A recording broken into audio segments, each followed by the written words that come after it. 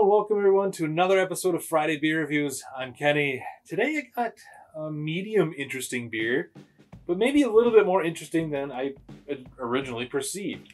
This is, oh, that is a tough one to open. This is Gold Cliff IPA by Kona Brewing Company. Now, everyone I think at this point probably knows Kona Brewing, and you probably know that I really am a big fan of their uh, Big Wave IPA because, or not, it's a Big Wave Big Wave. Yeah, not an APA. This one's APA, Uh, because it's kind of an alternative to your, you know, typical light beers and whatnot. So, and it's really tasty, I think, tasty light beer. So I got a sampler pack of this stuff and I was like, well, let's try some other stuff that they offer because I don't think I've done them on my channel before.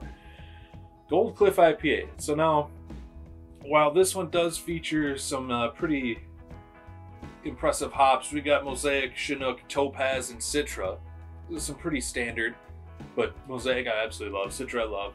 Chinook, I'm not super familiar with their taste profile, but and Topaz I'm not. But this one has a nice kind of like tropical pineapple smell to it right off the bat.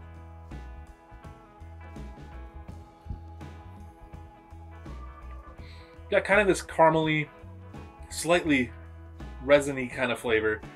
Um, and but yeah, this really beautiful gold color. Obviously, you can see a little bit, maybe not, maybe not the best, but yeah, this is a. I actually kind of dig this one. Now, it's finishing a little bit bitter.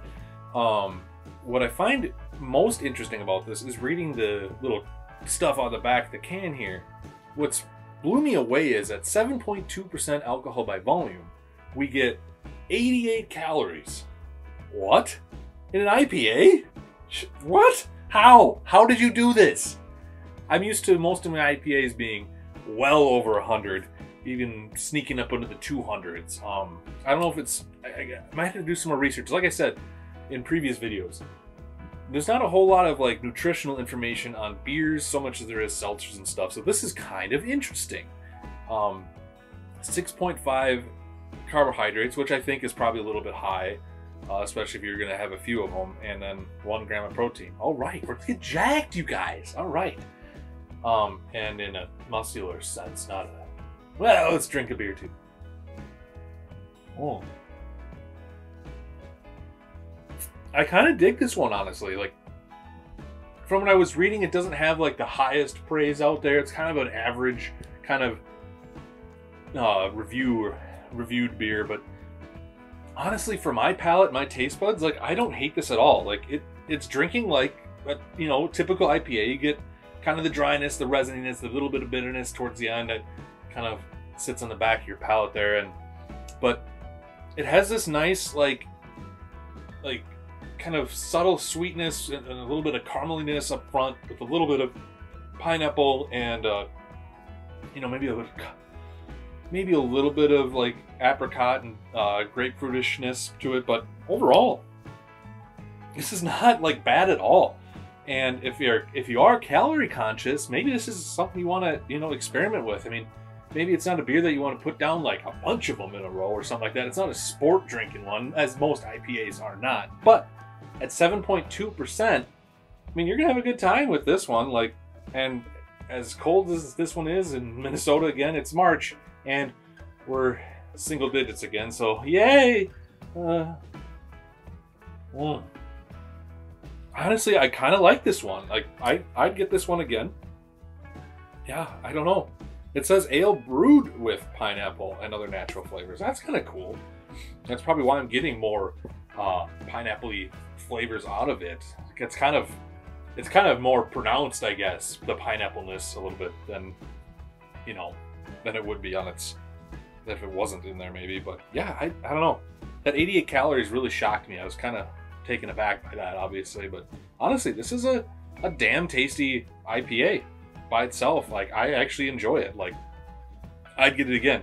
It's not gonna like there's plenty of other ipas i'd go for before this one you know but again like i don't know. This one's there's nothing wrong with it the variety pack is reasonable so it's a good one if you know to bring over, you know, like you're going over to the friends for the weekend or something like that, and they're having a party or something like that, and you just want to bring something to something different to than your Coors Lights or your Miller Lights, or your Buds, you know, just to, to share. that's not gonna break the bank. You know, like instead of a six pack, like hey man, I bought 24 damn beers. It's pretty sweet. I dig it. Like this is a variety pack I would definitely buy again and put in my fridge. It came with a couple uh, a longboard lager, and they came with the Kona Big Wave, which is kind of a classic. Everyone knows that one, so people probably reach for that one. And you probably have a couple IPAs yourself that are lower calorie, but still a decent ABV. Wow. Absolutely dig it, guys. I dig it. Very unique. I would definitely get this one again. Like, that 88 calories just kind of shocks me, but whatever. It is what it is. Like, it's cool. Like, it's different. I welcome it. Bring it on. Let's try something different, you guys. Ugh. Well, I think that's going to wrap this guy up for me. Um, you guys, thank you so much for hanging out to the end of the video if you did. I'm trying to, you know, spice things up as much as I can and do as much unique stuff on the channel for you to keep things entertaining. Hopefully it still is. Leave a like if you enjoy it. Leave a comment if you want to.